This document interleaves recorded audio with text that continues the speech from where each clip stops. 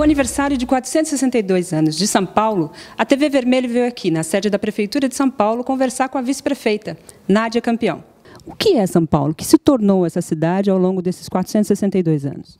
Bom, São Paulo é uma das maiores cidades do mundo, né? Então isso já diz bastante, porque e, e uma das maiores cidades do mundo, assim, numa escala lá em cima, né? Porque às vezes você tem cidades de 2 milhões, de 3 milhões, que são grandes cidades, mas uma cidade de quase 12 milhões de pessoas é, são pouquíssimas no mundo que tem essa dimensão, né?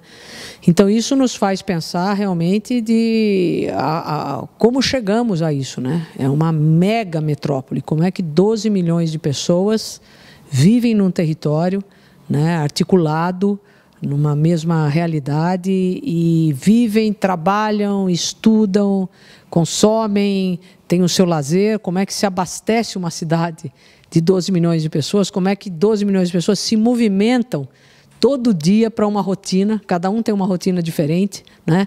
Então é uma coisa absolutamente extraordinária, mesmo nos padrões urbanos atuais, chegar a uma cidade de quase 12 milhões de pessoas é uma coisa incrível, né?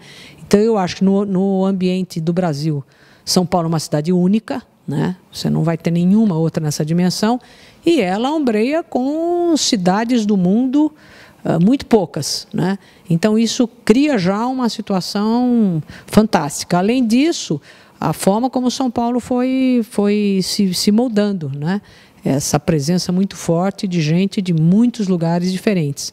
Você tem os paulistanos que nas, nascem aqui, mas também já são de diversas gerações, mas aqui nós temos uma, uma, uma presença forte né, de imigrantes e de fora do Brasil, né, que deram uma contribuição enorme para a formação de São Paulo, mais a imigração italiana, a imigração japonesa e tantas que formam São Paulo, mas muito forte também das outras regiões do Brasil, né, principalmente do, do Nordeste, né, a presença de São Paulo. Então, foi isso tudo foi se misturando aqui, né, fazendo um, é um amálgama de, dessas contribuições todas.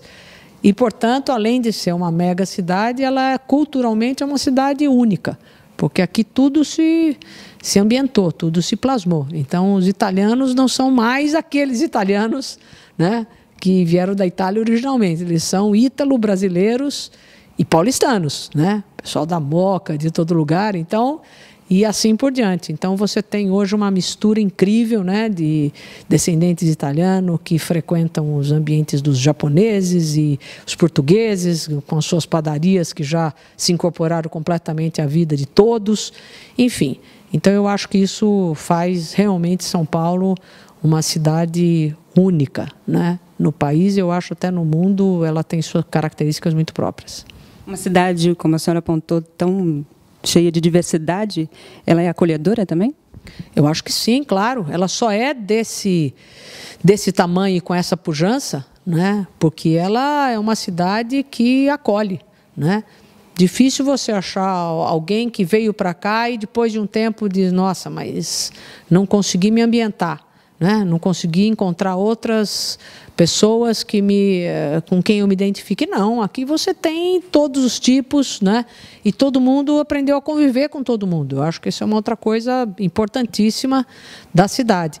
E é uma das nossas apostas permanentes para o presente e para o futuro, que a cidade seja cada vez mais assim, que essa força se reproduza, cidade acolhedora, uma cidade que tenha tolerância com a, com a tolerância com a diversidade, né?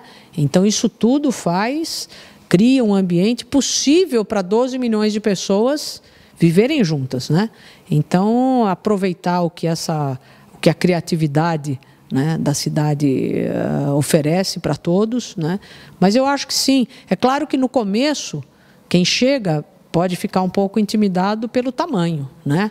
Fala, poxa, mas eu nunca vou conseguir dominar ou aprender essa cidade toda. Mas com o tempo ela vai descobrindo os seus lugares, os seus caminhos, a sua turma, né? a sua tribo, vai conhecendo as outras. Então cada um vai descobrindo a São Paulo que ele gosta mais. Né?